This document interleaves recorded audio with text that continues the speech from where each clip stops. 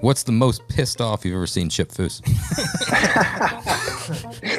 Oh, you're gonna laugh. We were at SEMA one time we were looking at all the different cars that Chip had in the various booths. Cleanup crew was in there like vacuuming the carpets, like doing one last vacuum. But it's not the car people. It's like literally the convention center staff coming in and this woman was vacuuming and she was hitting the, the wheels with her vacuum. Chip went, and I don't think it was Chip's car. I think it might have, might have been a different car in the display that his car was in, but he went and pulled the cord out of the wall.